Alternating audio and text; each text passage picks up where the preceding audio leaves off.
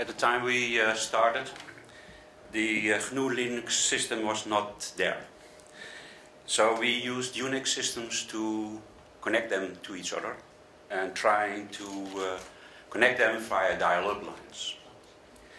Uh, later on, uh, later on, the ARPA and TCP/IP stack existed. But the whole thing was uh, possible, what I learned later on, by the blueprint for uh, making the innovations uh, okay.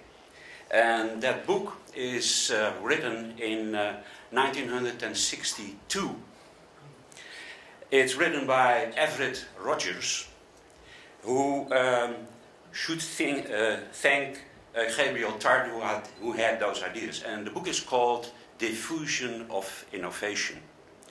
And I urge you to read that book. Or if you have your Google device with you, look it up and look up the diffusion of innovation for healthcare. For that's not 500 pages, and that's only three pages, and gives you 10 rules to obey to make things in a, to make things happening and to disseminate those things.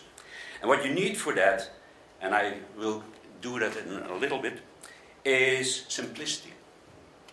Think about that and think about simplicity and the complexity what we get on now. And what you do, what you also need to do is triability and compatibility and re relative advantage. And what you above all need is what I call daredevils.